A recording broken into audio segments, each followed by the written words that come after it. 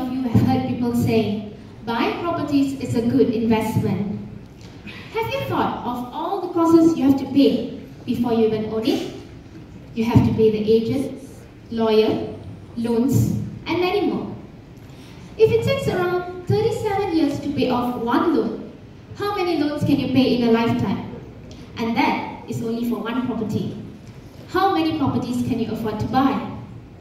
20? 30? I told you you can own that many properties or even KLCC or Marina Bay?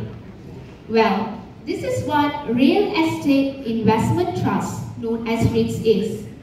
It is properties in forms of stocks on Bursa Malaysia or Wall Street, so you can indirectly own them. But when you directly buy properties for investment, you create more demand.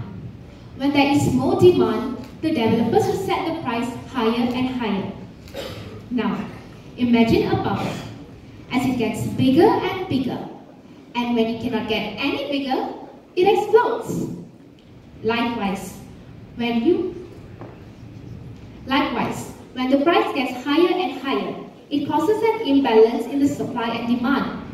And like the bubble that explodes, the economy crashes and it is paralyzed. This is what happened which led to the global financial crisis back in 2008. We don't want this to happen again, especially in Malaysia. So, we need to know whether REITs is better than buying direct properties. So I looked into more than 200 REITs companies across Asia. And with this big data, I specifically looked into the relationship and the factors that impact the returns.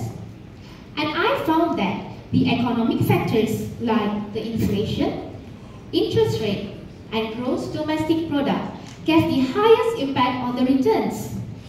Based on these economic factors, investors like individuals and companies will know the amount of risk and return of each Asian country. With these findings, investors can also know what factors that should be considered for a good investment return. And therefore, they can shift from direct properties to REITs. You know, I'm worried that in the future, our children may not afford their own properties. Well, REITs is the solution for this, to avoid overpriced properties that create bigger bubble. So, next time, if you think of buying a property for investment, think of REITs, and maybe you can own 20 or 30 KLCCs and Marina Bays. And after that, maybe you can give me one. I am Elsa from UTM. Thank you.